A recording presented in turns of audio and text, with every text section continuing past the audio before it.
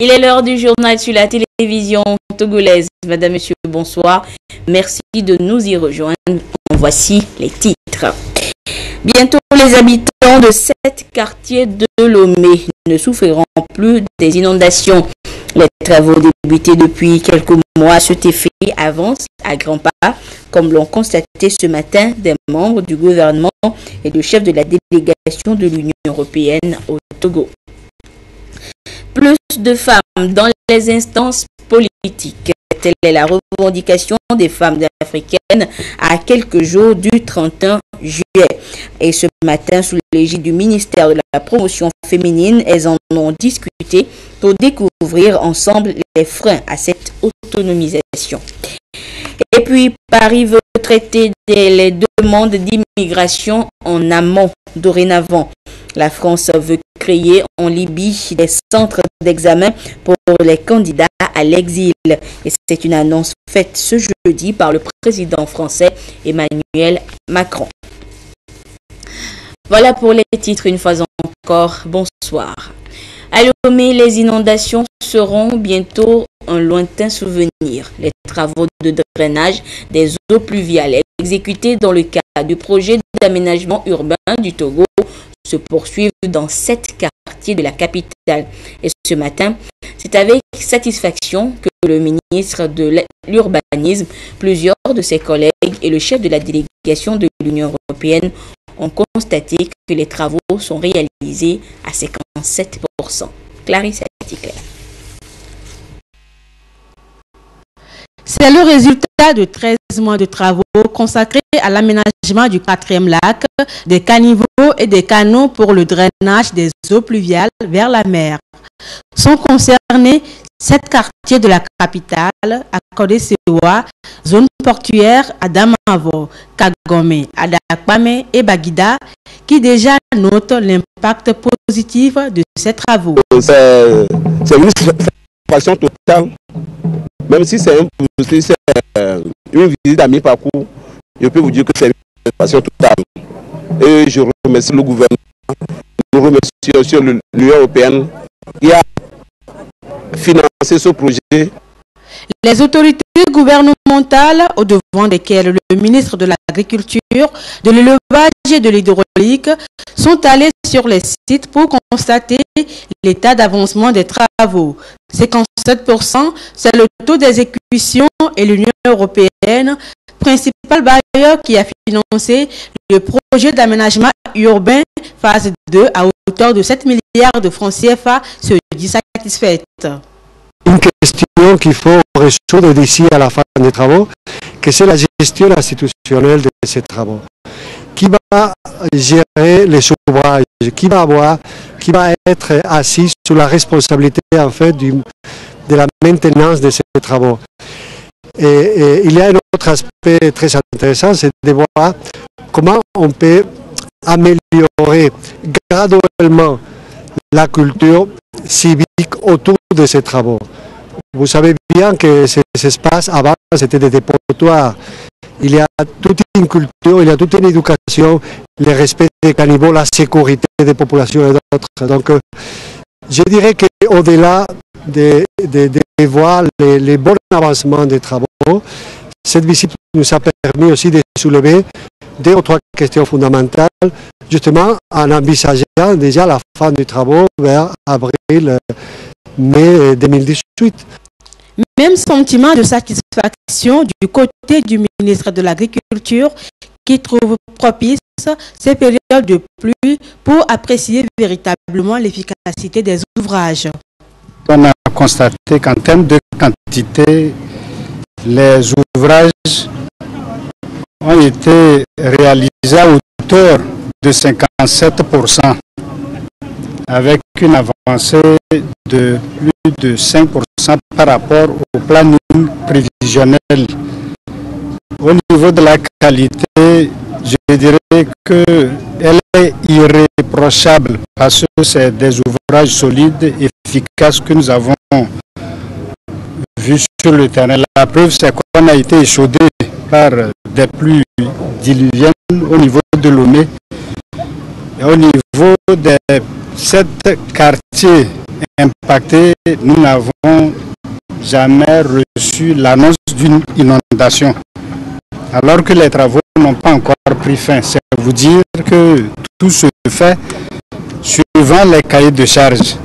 Lancé en avril 2016, les travaux devraient prendre fin en juin 2018.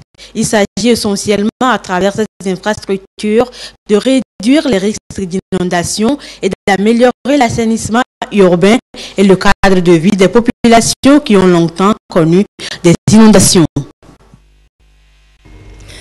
La commission de réflexion sur les réformes politiques, institutionnelles et constitutionnelles dans le cadre de ces missions a en premier lieu rencontré les acteurs politiques, étatiques et ou non étatiques et les leaders d'opinion de notre pays afin de partager et recueillir leurs idées, suggestions, conseils sur les réformes envisagées. Elle a en second lieu organisé le 20 juin 2017 à Lomé une rencontre avec les leaders d'opinion que sont les membres des comités préfectoraux de paix et les représentants de la chefferie traditionnelle. Elle se propose en troisième lieu de rencontrer les populations à travers toutes les préfectures pour recueillir leurs avis et suggestions pour nourrir la réflexion et proposer des réformes qui tiennent compte de notre histoire, reflètent nos réalités et répondent aux aspirations du peuple togolais. Et cette tournée est prévue sur la période du 1er au 31 août 2017. Et c'est un communiqué de la présidente de la dite commission. Les responsables de la direction régionale de l'agriculture de la région centrale étaient ce week-end dans les zones agricoles planifiées ZAP de Colina, à Fembossou et à Djeide. Il était question pour le directeur régional et sa suite de constater l'effectivité de la mise en terre des plans à haute valeur économique distribués auparavant par le ministre en charge de l'agriculture aux producteurs vulnérables. La correspondance sur place de la marque régionale. de l'agriculture a mis à la disposition des producteurs vulnérables des plans à haute valeur économique afin qu'ils les intègrent à leur production céréalière pour lutter contre la pauvreté.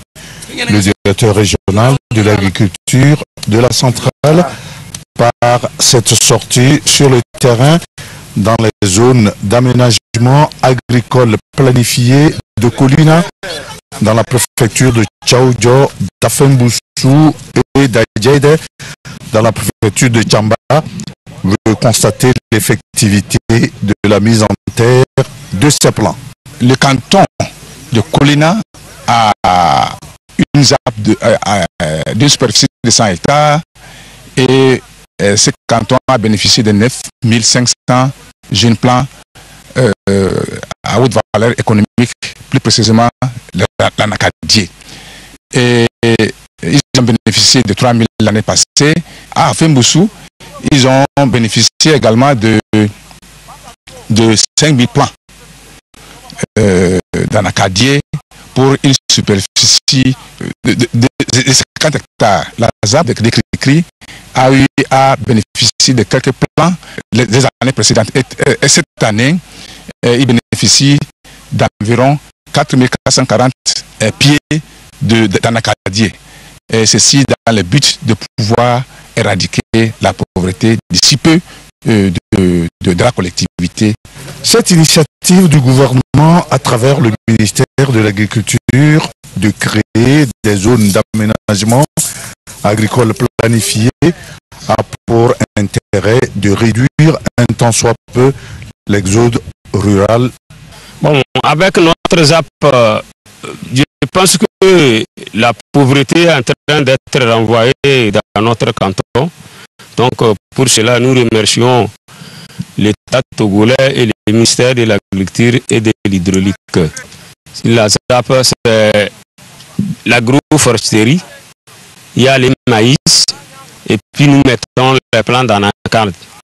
D'autres mettent les soja et d'autres euh, l'haricot, appelé niébé. À travers cette culture de plants à haute valeur économique, les producteurs pourront améliorer leurs conditions de vie et renforcer leur résilience face aux effets des changements climatiques. Les producteurs de soja dans la région des plateaux connaissent depuis un certain moment une baisse de leur production. Ceci s'explique par une méconnaissance des techniques adaptées à la culture de cette céréale. À Atakame, les acteurs du domaine se forment aux nouvelles techniques pouvant les aider à améliorer leur productivité et ceci à travers des méthodes d'exploitation des sols. Des précisions depuis Atakame de Silver. Abdou.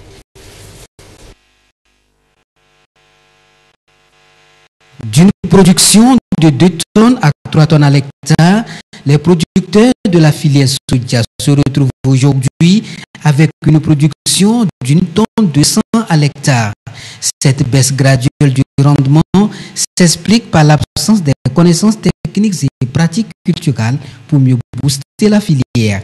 À Tapami dans les plateaux, les producteurs de cette filière se familiarisent avec de nouveaux mécanismes d'appropriation et le respect des itinéraires techniques de production, notamment dans le choix des parcelles, le stockage des graines en passant par les opérations culturelles telles le labour, le semis, l'entretien, entre autres.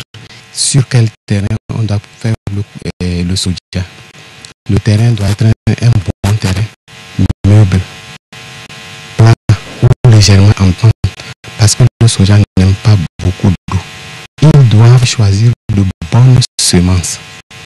Les bonnes semences, c'est quoi? C'est les semences certifiées qu'ils doivent acheter chez des producteurs qui sont agréés. Après avoir semé, il faut faire les entretiens. Les entretiens commencent par le, le cerclage. Donc, 15 jours après semer, il y a de l'herbe, il n'y a pas de l'herbe.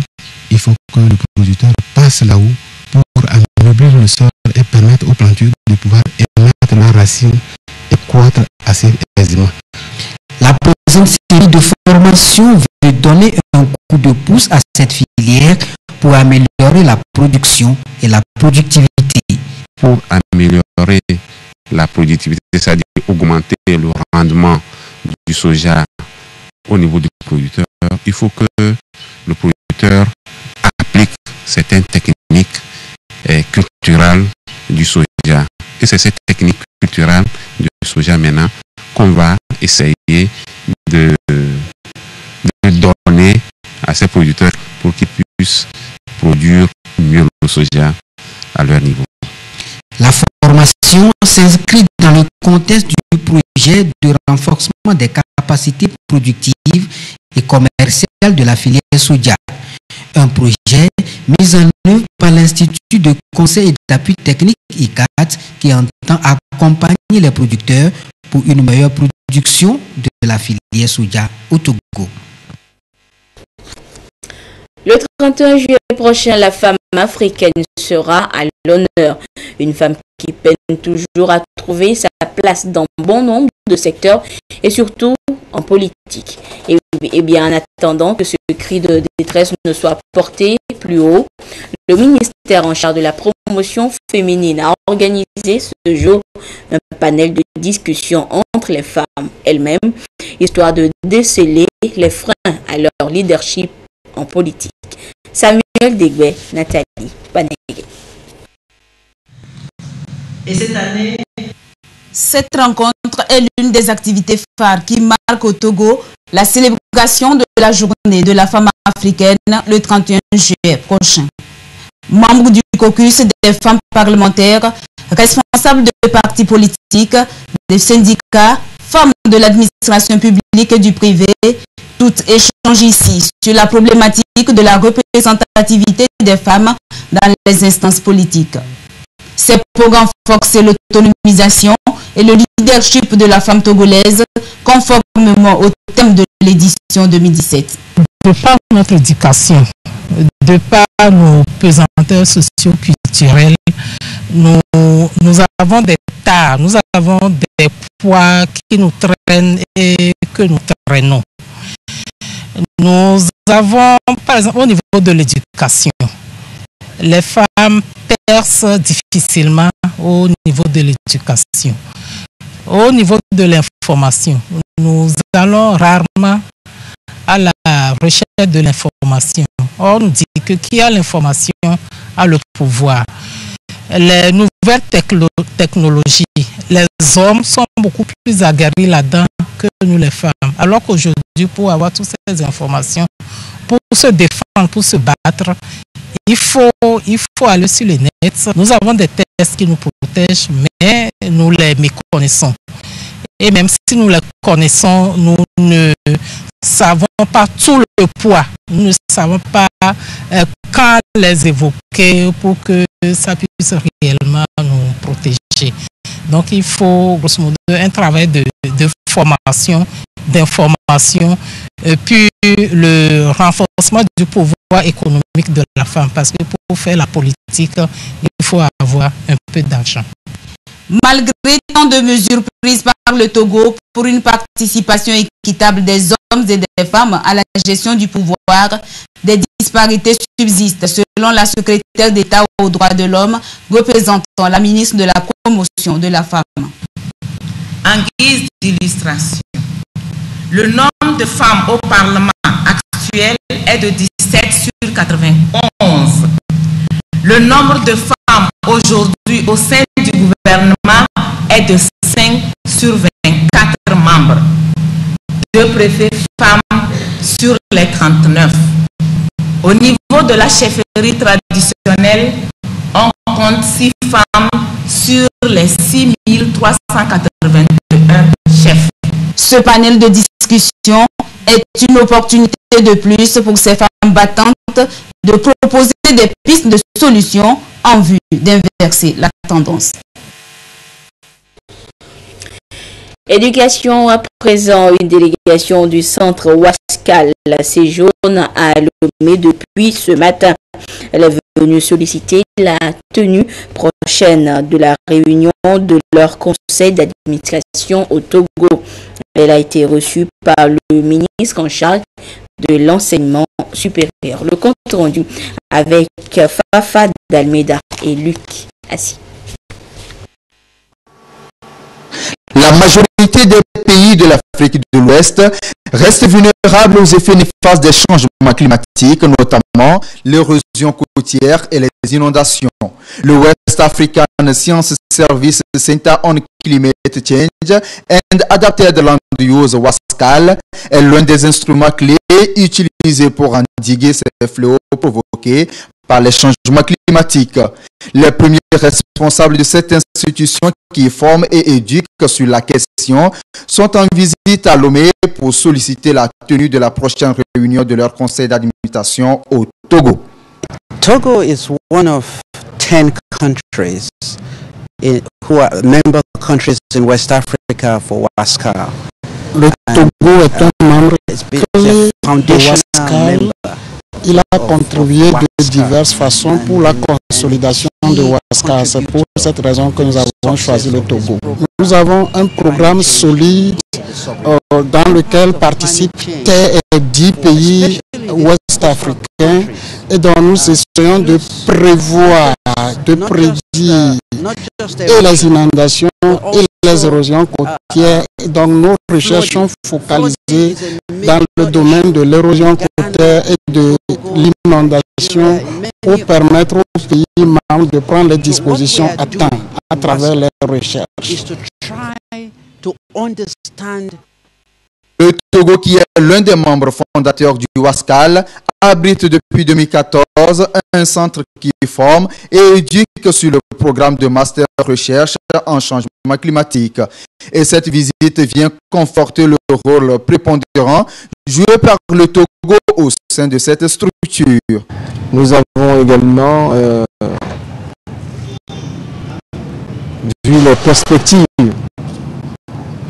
de cet important programme parce que les deux pays vont se joindre à ce programme de recherche qui touche un élément clé qui consiste à maîtriser les aléas des changements climatiques qui frappent de plein fouet euh, nos pays. Et ceci rentre dans les programmes internationaux de maîtrise du changement climatique. Le ministre de l'Enseignement supérieur a exhorté ses responsables à intensifier la formation en master pour une insertion socio-professionnelle plus réussie. Dialogue des parties prenantes autour des droits fondamentaux des communautés des zones minières au Togo. C'est le libellé du tout nouveau projet parrainé par l'Union européenne dans notre pays. L'objectif est de contribuer à une meilleure connaissance des droits économiques, sociaux et environnementaux des populations locales vivant à proximité des sites d'exploitation. Et 15 localités sont concernées. Sonia Aménico. La cohabitation entre les populations riveraines et les usines d'exploitation des ressources minières n'est souvent pas aisée. Le projet dialogue des parties prenantes autour des droits fondamentaux des communautés des zones minières au Togo veut apporter des solutions afin de favoriser cette cohabitation. Il s'agit d'amener les différents acteurs concernés à une meilleure connaissance et accès aux droits économiques, sociaux et environnementaux des communautés locales. Nous allons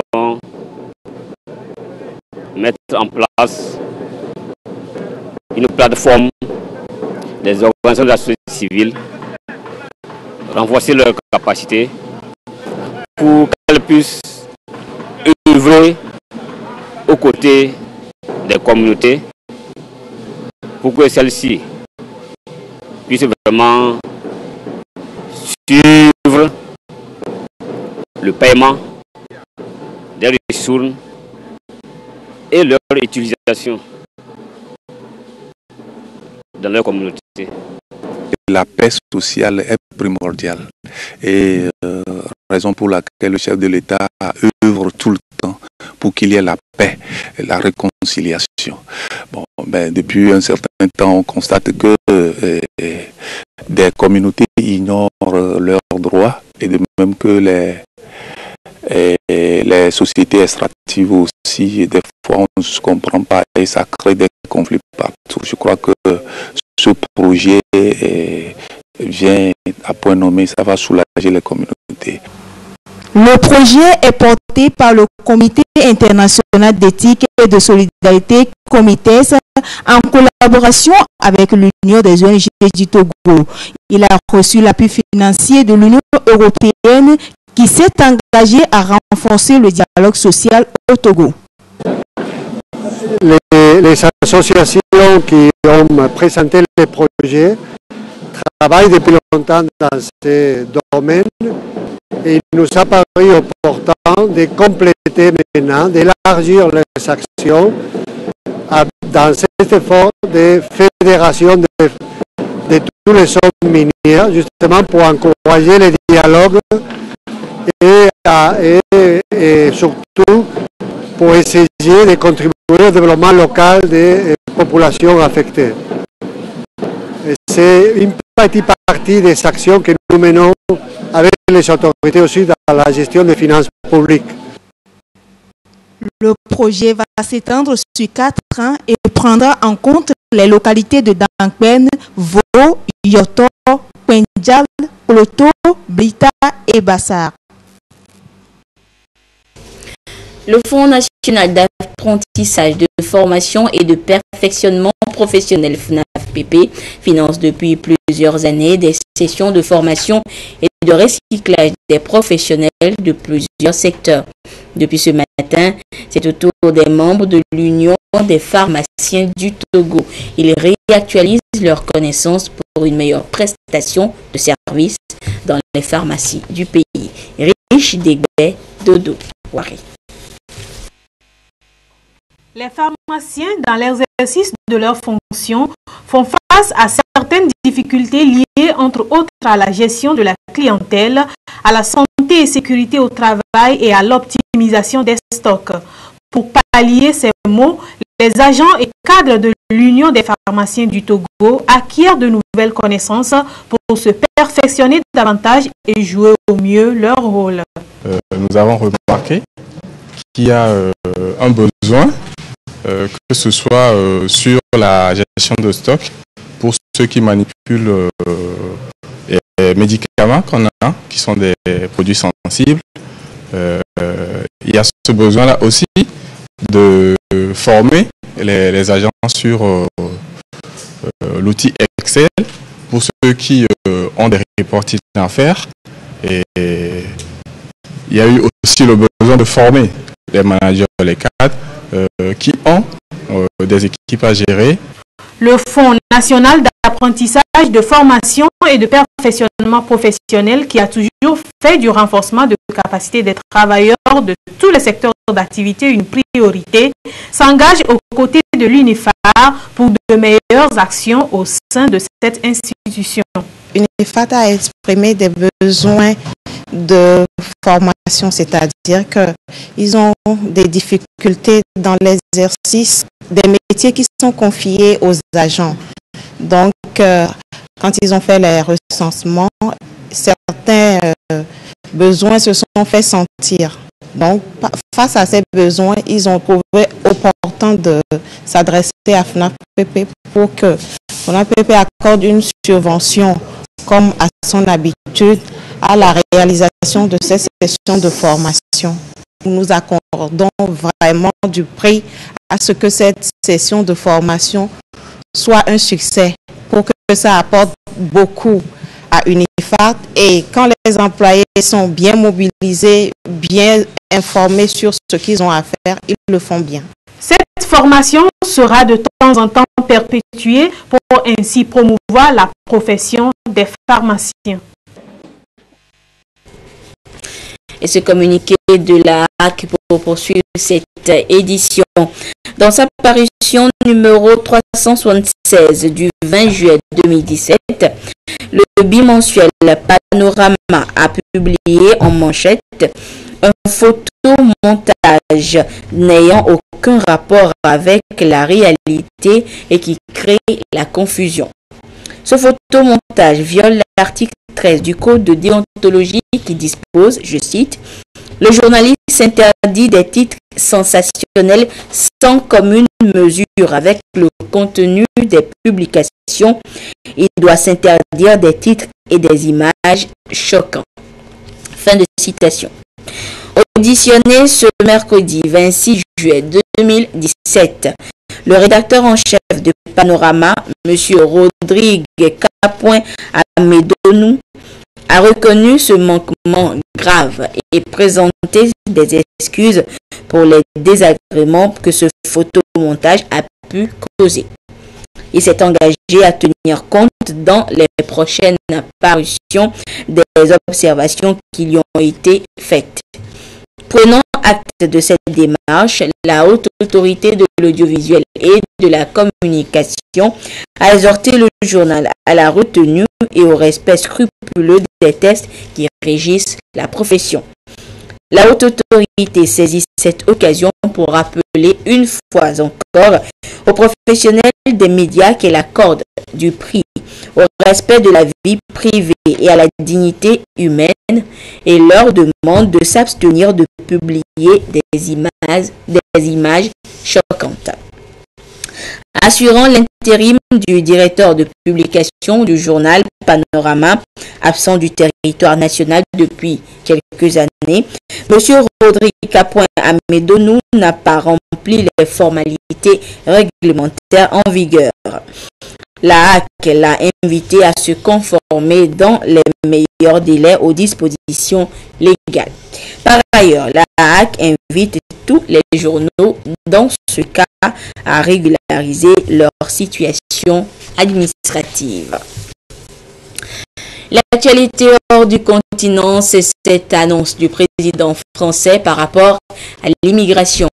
Emmanuel Macron a réaffirmé ce jeudi sa volonté d'une réduction drastique des délais de traitement des dossiers des migrants. Le gouvernement de Paris veut réduire ce délai de 18 à 6 mois. Aller au-devant des migrants avant même qu'ils ne tentent une périlleuse traversée de la Méditerranée. C'est le projet par le président de la République. Je souhaite que l'Union européenne, et tout le moins la France le fera-t-elle, aller traiter les demandeurs d'asile au plus près du terrain, sur le sol africain, dans les pays sûrs où nous pourrons organiser ces missions. Le président a évoqué la création à terme de centres d'examen au Tchad, au Niger et même en Libye. Un pays qui accueille sur son sol entre 800 000 et 1 million de personnes dans ses camps de réfugiés. La Libye est aujourd'hui un pays sans État, livré à des milices rivales et à des trafics en tout genre. Est-il vraiment réaliste d'y envoyer des agents de l'État français pour examiner des demandes d'asile? Il s'agit dans l'immédiat de faire cela où cela peut avoir lieu au vu des conditions euh, euh, de stabilité et donc plus probablement dans l'immédiat dans des pays frontaliers de la Libye qui sont sur ces routes migratoires. Ce soir, l'Élysée reconnaît qu'ouvrir un centre d'examen en Libye n'est pas possible dans l'immédiat. La France enverra fin août une mission de faisabilité. Retour chez nous avec cet engagement de l'ONG International Youth Fellowship IYF et la préfecture du Golfe à œuvrer ensemble pour le développement des collectivités locales en s'inspirant de l'expérience de la Corée du Sud. En, témoigne le forum organisé à l'endroit des chefs traditionnels et des jeunes sur le thème changement de mentalité et le civisme. Yatar Atem et Ramdan Bassina nous en disent plus. Des communautés au Togo est au cœur de ce forum qu'organise l'ONG sud-coréenne International Youth Fellowship AYF. Il s'agit pour cette organisation d'apporter l'expérience de la Corée aux leaders des communautés, à la jeunesse, afin de faire d'eux de véritables acteurs de développement.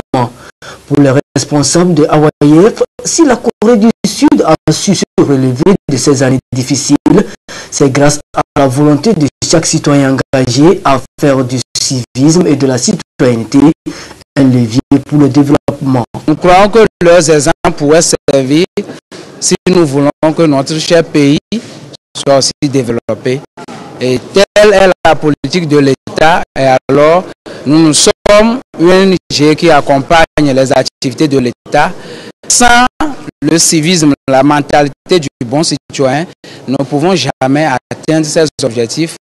Le Togo dispose d'une politique nationale de formation civique et de l'éducation à la citoyenneté, une démarche à même d'impulser le développement durable et les leaders sont des vecteurs auprès de leurs administrés pour un changement de comportement et de mentalité.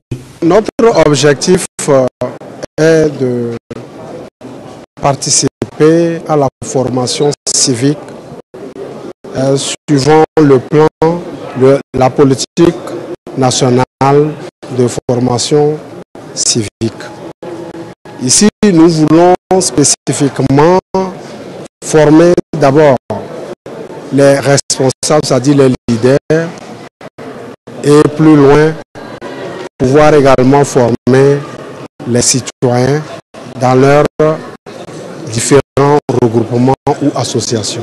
Nous apprécions à sa juste valeur l'initiative de AOF. Cette rencontre est organisée en marge du camp international de la jeunesse qui regroupe plus de 2500 jeunes venus de la Côte d'Ivoire, du Bénin, du Ghana, du Burkina Faso, de la Corée du Sud et du Togo.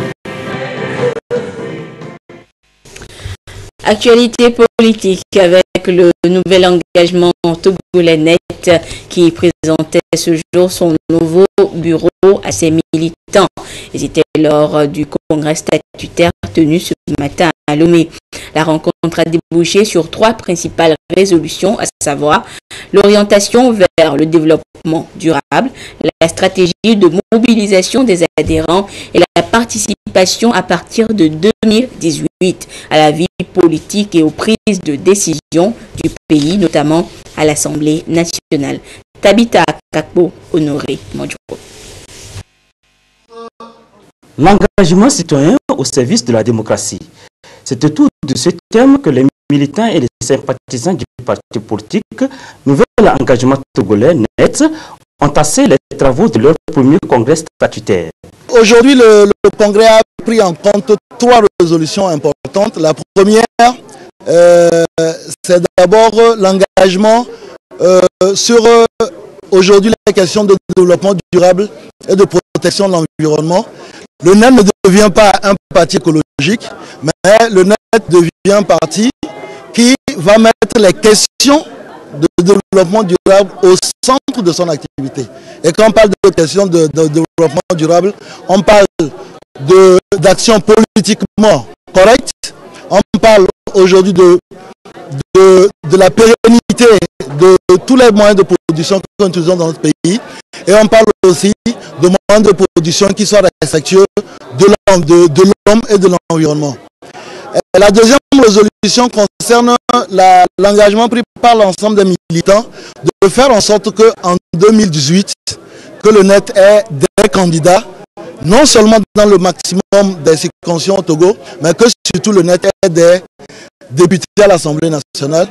La troisième résolution, la plus importante aussi, c'est de faire en sorte que la question de la formation citoyenne des Togolais soit le fer de lance des activités du net. La question des réformes politiques a été aussi abordée au cours de ce congrès.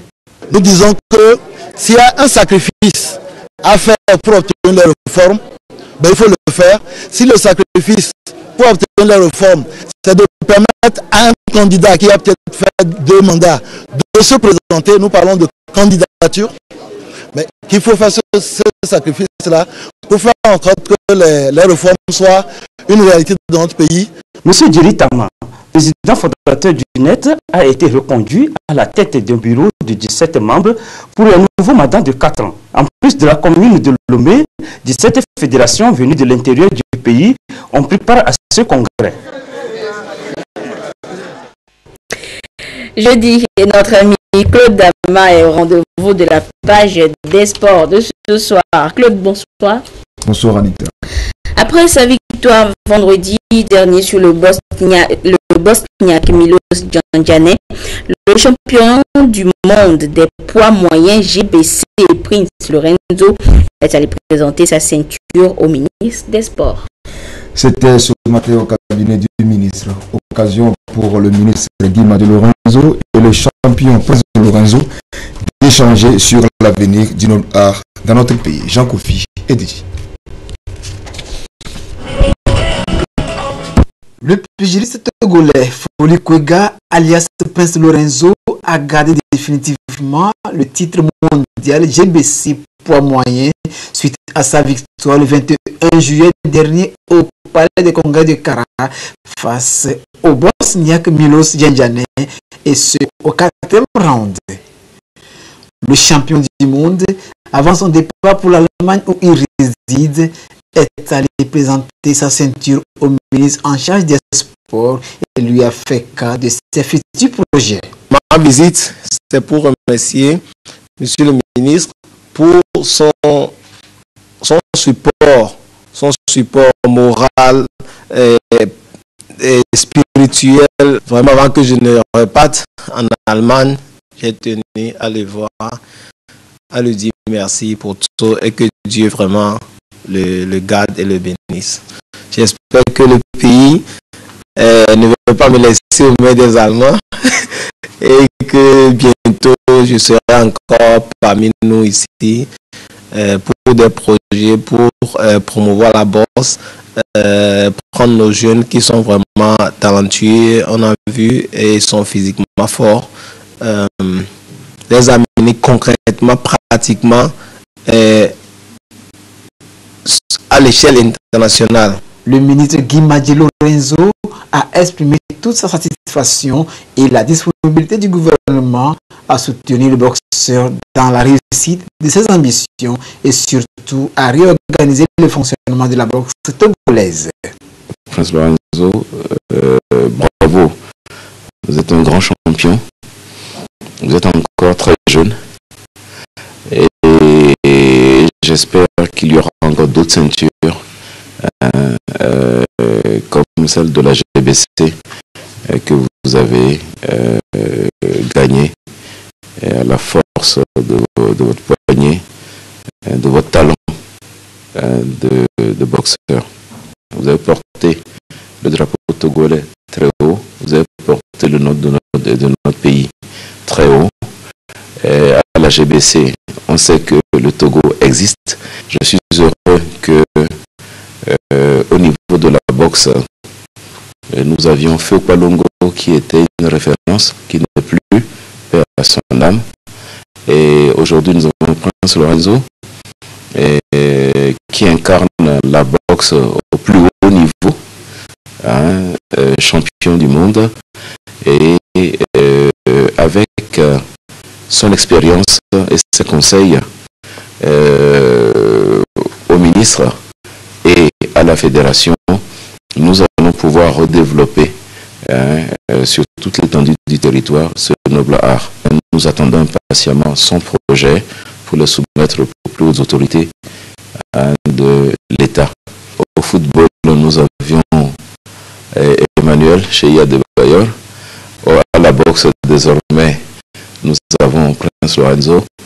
Et j'espère que dans toutes les disciplines, soit collectives, soit individuelles, nous allons avoir quelques icônes qui, euh, avec leur expérience, nous permettront au niveau du ministère, au niveau du Comité national olympique togolais, euh, de pouvoir proposer euh, des, axes de développement du sport de masse pour, permettre à notre nation, qui est une grande nation sportive, hein, de pouvoir aller dans toutes les arènes, toutes les pistes, avec toutes les chances, ne pas aller faire de la figuration, mais aller pour la gagne et dans le fair play.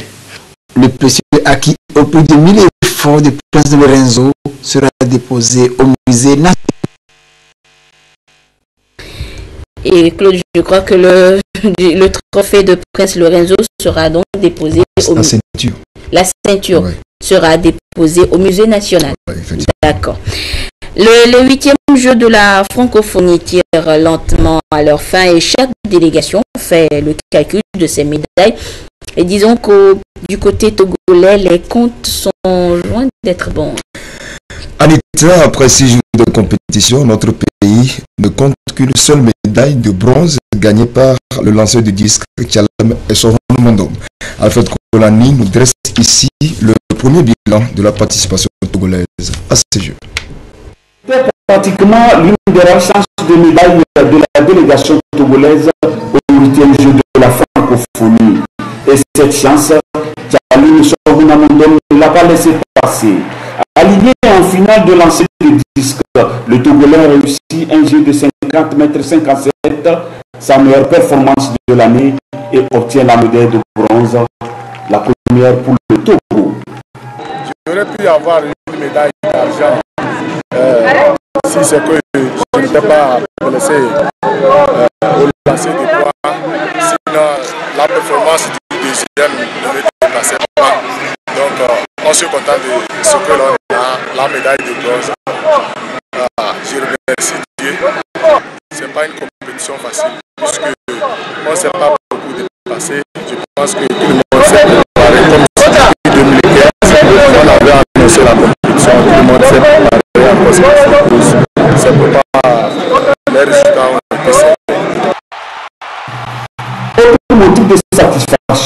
satisfaction, il y en a toujours en athlétisme, le retiendra la double qualification pour la finale de Fabrice Dabla au sein de 200 mètres. Aligné sur 200 mètres, Aminou Adesina boucle la distance en 22 secondes 96. Côté dames, pour PCP au 100 et au 200 mètres, la main gabonaise ne semble pas prendre. Et je suis venu avec quatre athlètes. On a eu médaille, la médaille de bronze, et c'est la première médaille pour tous les Jeux, pour le Togo. Et je crois que c'est une satisfaction pour moi. Et pour PC, je crois qu'il faut revoir ses entraînements. Donc je garde avec son coach de Dakar pour voir comment on peut changer son programme d'entraînement. En tennis de table, Abidjan a été une nouvelle étape d'apprentissage, même s'il faut noter les quarts de finale disputés face à la France en double mixte et les victoires de Achou Ataru et d'Olima Rennes en simple messieurs et dames face aux Seychelles, au Niger et contre le Mali. Il y a du travail à faire à la base. On va essayer de régler certaines petites choses pour pouvoir en 2021 amener une équipe qui sera ce niveau et représenter valablement le Togo. La grande déception, c'est au judo, où les Togolais ont été vite balayés. Viago commis en moins de 66 kg par le Vietnamien Soulouat et Ouad le Mali Magdalene battu en 11 secondes par la capverdienne Camila Silva. Comme on peut le constater, le bilan à quelques jours de la fin n'est pas du tout réjouissant. On les a vus à l'œuvre. Nos jeunes, ils se comportent pourtant très bien sur les aires de compétition. Ils font de belles performances. Mais il leur manque ce petit quelque chose qui pourrait leur permettre de conclure. Et ce quelque chose, nous croyons l'avoir décelé dans leur manque d'expérience et leur manque de compétition. Le ministre Lorenzo, lors de son passage ici, l'a dit. Et quand nous et je crois que des réflexions vont se mener, sérieusement, parce que nous avons beaucoup de leçons à tirer de notre participation à ces huitièmes Jeux. Côté culture et développement durable, le Togo n'a pas fait mieux. Le foyer amélioré du groupe Enyonam ne franchira pas les portes du premier tour. Idem pour le compte des frères jumeaux Tommy Achou et Etienne hip-hop du groupe New Star de Lomé qui n'a pas pu obtenir l'une des places qualificatives pour la finale. En ce qui concerne la culture, là, il n'y a pas, il a pas grand-chose à dire. Euh, à ce niveau, euh, on a affaire à des yeux de l'esprit. Ce sont des yeux de l'esprit qui sont en, compétition. Et, donc, globalement, ce qu'on doit retenir, c'est que nous avons du travail à faire. Abidjan 2017 prendra fin dimanche prochain. Il sera leur temps pour le Togo de tirer les véritables leçons, les leçons de cette participation, une de plus, sans grand résultat. Et Claude. Anita, dans la foulée de ces jeux, notre compatriote Fabrice Dabla a perdu la finale des 200 mètres ce soir. Il a terminé 6 sur 8. Les lutteurs, eux, ont été battus par le Burkina Faso 5 à 0 avec deux forfaits. Enfin, la dernière sortie en judo de Koro s'est aussi soldée par une défaite. Bon, Claude, que de mauvaises nouvelles euh, durant ces, ces huitièmes Jeux de la francophonie. Mais on va dire que c'est le jeu. Merci, Claude. Et donc, euh, Un avec, dernier mot? avec le même plaisir, euh, je vais donc retrouver les amis télésportifs euh, samedi dans Sport Détente. Et nous, on se retrouve donc euh, jeudi prochain. Merci de votre fidélité à la télévision togolaise. Notez qu'à 21h, vous serez en compagnie du binôme Pierre Soussoupo, Adolphe Paca pour Togo en marche. Ce soir, deux thèmes. La facilitation des échanges commerciaux dans notre pays et la sécurisation du foncier au Togo au cœur des réformes. Et à 22h30, Prudence Zinsou vous retrouve pour la dernière édition du journal. Au revoir.